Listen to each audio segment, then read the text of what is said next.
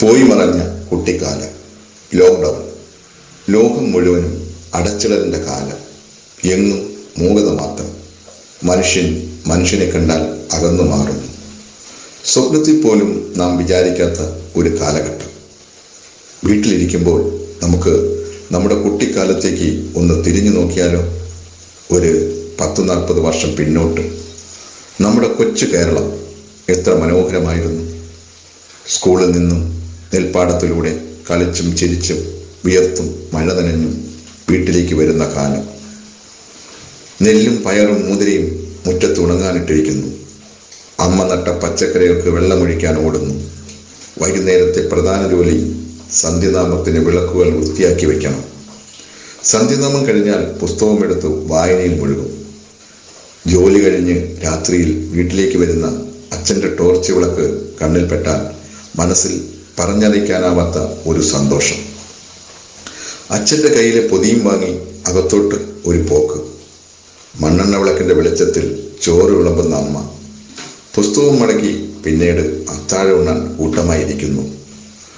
പിന്നീട് ഉറങ്ങാനുള്ള തിരക്ക്. കാലത്ത് എണീറ്റ് മഞ്ഞു വീണ തണുത്ത പ്രകൃതിയിലൂടെ കുളിക്കടവിലേക്ക് കുളിക്കാൻ ഒരു പോക്ക്. അത് കഴിഞ്ഞ് പശുക്കറവ ഉണ്ടായിരുന്നിടത്ത് പാലും മോരും അടുത്തുള്ള വീടുകളിൽ കൊണ്ട് കൊടുക്കണം. പിന്നീട് അമ്മ തരുന്ന പഴങ്കഞ്ഞിയും കഴിച്ച് പുസ്തകവും എടുത്ത് ഒറ്റ ഓട്ടമാണ് സ്കൂളിലേക്ക്. തിരിച്ചു വരുമ്പോൾ അടുക്കളയിൽ പുക വരുന്നത് കണ്ടാൽ വലിയ സന്തോഷമാണ്. അമ്മ ഉണ്ടാക്കിയ ചായയും പലഹാരങ്ങളും കഴിക്കാനുള്ള കൊതി. അത് കഴിഞ്ഞ് വയലിലേക്ക് ഒരൊറ്റ ഓട്ടം. പന്തുകളിയും ഗോലികളിയും അമ്പലപ്പറമ്പിലെ കവടികളിയും കിളികളിയും. വീട്ടിൽ നിന്നും വിളി വരുമ്പോഴാണ് നേരെ പുരട്ടുന്നത് ഓർക്കുന്നത്. കുളി കഴിഞ്ഞ് അമ്പലത്തിലേക്ക് ചുറ്റുമതിലിരുന്ന് സിനിമാ കഥകൾ പറയുന്ന ഒരു കാലം. തിരുമേനി വന്ന് പൂജാമണി മുഴക്കുമ്പോഴാണ് പൂജയുടെ കാര്യം ഓർക്കുന്നത്. പിന്നീട് പൂജയുടെ പ്രസാദവും പായസവും കഴിച്ച് വീട്ടിലേക്ക്. മഴക്കാലമായാൽ വയലിൽ നിന്നും തവളകളുടെ പോക്രോ വിളികൾ വീഴും. പിന്നീട് ചൂട്ടും കെട്ടി തവളയെ പിടിക്കാൻ മീൻ വെട്ടാനും ഒരു പോക്കാണ്. ഓണമായാൽ മത്സരിച്ച് പൂക്കളം ഒരുക്കലും മുറ്റത്തെ ഊഞ്ഞാലാട്ടവും. മുറ്റത്ത് ഉണങ്ങാനിട്ടിരിക്കുന്ന കൊപ്രയ്ക്ക് കാക്കയടിക്കാൻ അമ്മ നിർത്തിയിട്ട് പോയാൽ കൂട്ടുകാരെ വിളിച്ച് അവിടെ കളിസ്ഥലമാക്കുന്നതും അന്ന് അകലെ ഉത്സവം നടക്കുമ്പോൾ വീട്ടിൽ നിന്നും വിട്ടില്ലെങ്കിൽ പിറ്റേ ദിവസം വീട്ടുമുറ്റത്ത് സ്റ്റേജ് കെട്ടി ഉത്സവപ്പറമ്പാക്കുന്നതും വിഷു വരുമ്പോൾ പിരിവെടുത്ത് അമ്പലത്തിലെ ഭജനയും വിളക്കും നടത്തുന്നതും എല്ലാം പോയി മറഞ്ഞ കാലമാണ്.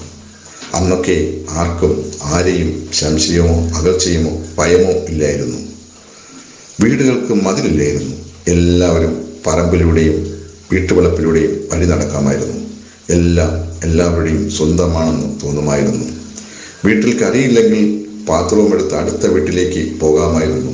അവിടെ നിന്നും എപ്പോഴും ഭക്ഷണമോ വെള്ളമോ വാങ്ങാമായിരുന്നു. അങ്ങനെ ഒരു നല്ല കാലം നമുക്കുണ്ടായിരുന്നു. ഇനി ഓർമ്മയിൽ മാത്രം ഒന്ന് കണ്ണടച്ചാൽ മതി പറക്കും. ആ പോയി മറഞ്ഞ കുട്ടിക്കാലത്തേക്ക്. അതായിരുന്നു ദൈവത്തിന്റെ സ്വന്തം നാട്.